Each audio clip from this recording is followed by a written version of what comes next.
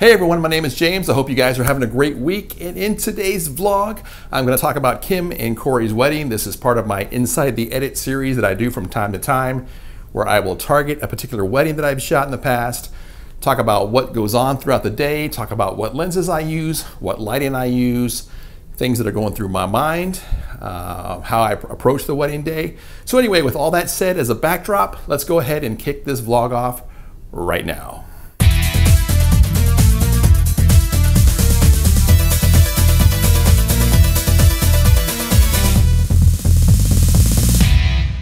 So Kim and Cory's wedding was at the Mulberry in New Smyrna Beach. It's a beautiful, beautiful venue. I got there early so I could get some drone shots of this place. This was the one area here in Daytona Beach where I had not been before.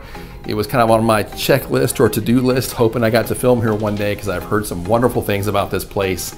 And here I am. So you're seeing some beautiful drone footage now of this venue.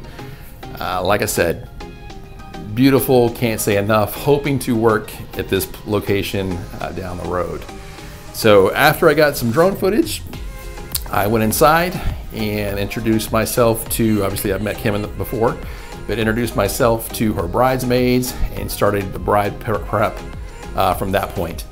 Um, those of you who know me and those of you who don't, but maybe will, will in the future if we work together, I am not one of those guys or vendors that will come in and just do my thing and capture what I need to do and just walk around the whole morning or whenever I start like this and not say anything. That's just not me. I'm very personable at weddings. I love to interact with the bride. I love to interact with the girls. So one of the first things I did when I first walked into the room is said, hey, I'm James, your nerd videographer. Of course, that usually makes everybody laugh.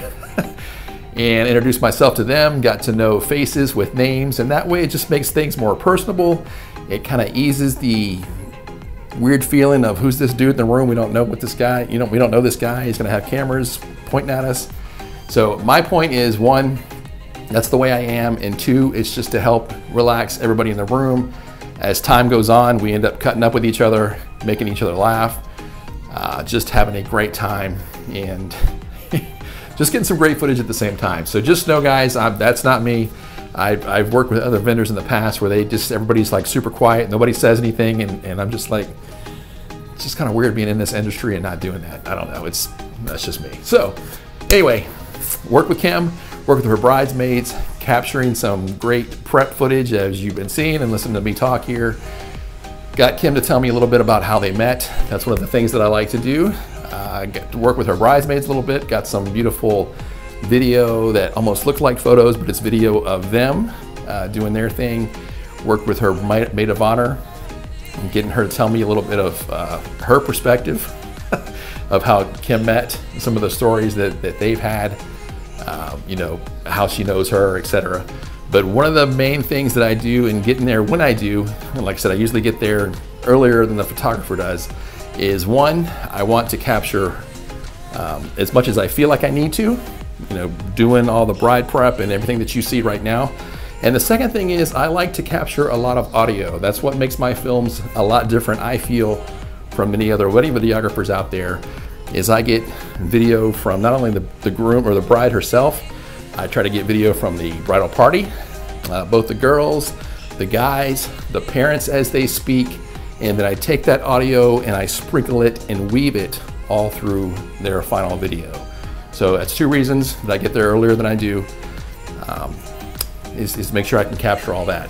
So moving through bride prep, the photographer arrived a little bit later. By that point, I've already got everything that I need. He or she usually at that point dives in and gets the rings, the dresses, the shoes, those intricate details that, that you want to capture via photo, you know, via photography. And usually I've already captured that on video before. So when he or she arrives, I'm usually just kicking back, uh, shadowing them, letting them do their thing, but also capturing you, you know, in real time, you know, watching you laugh, watching you sometimes cry, letting the emotions come out of the day, uh, getting the bride uh, dress on, you know, your, your mom helping you do that, your bridal party helping you do that, and making sure all those moments are captured. So from there, we moved into the ceremony, which was outside. And when I was told it was going to be outside, I was like, oh, this is going to be great. Because just the greenery in the background there, I knew with the lenses that I was using, it would make some spectacular footage. And you're seeing that right now.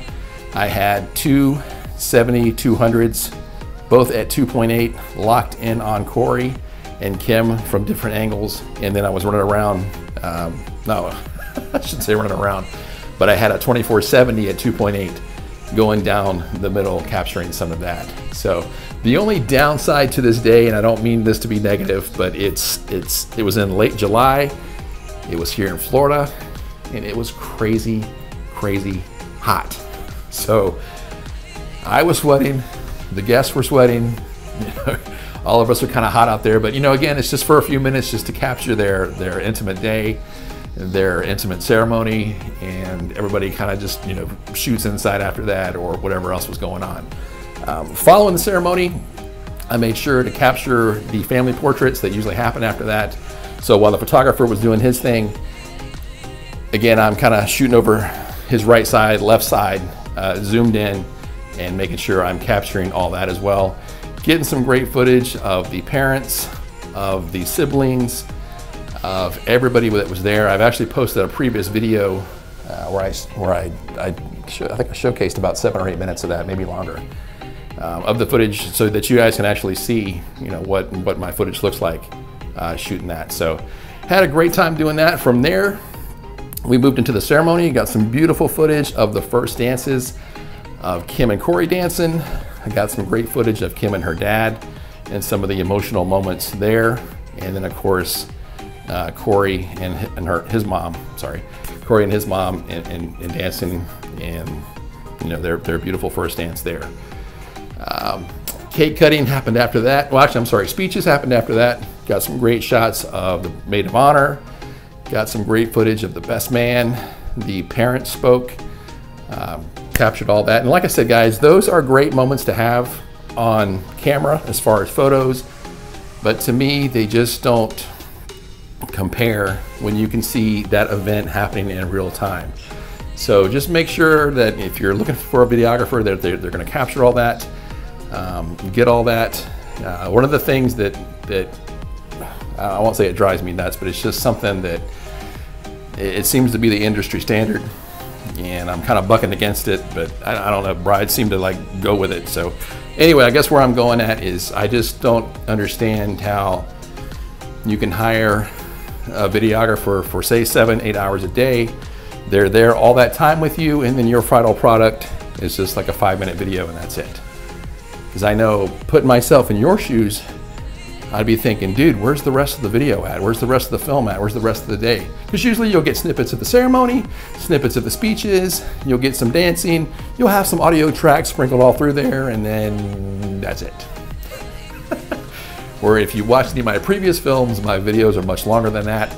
I like to take all of that audio that I've gathered, sprinkle it through your film, and it just makes mine, I feel, a little bit more personable. So again, just kind of a going down a rabbit trail with that. So after the reception was over, we had the uh, sparkling exit, beautiful, got some great footage of that, and had a wonderful day uh, at their wedding. Lenses that I use throughout the day are the 50 1.2. I've usually got three 7200s with me and usually the 2470. I usually also sometimes bring the 85 or the 135, but it's usually just those three lenses that I'm going back and forth with.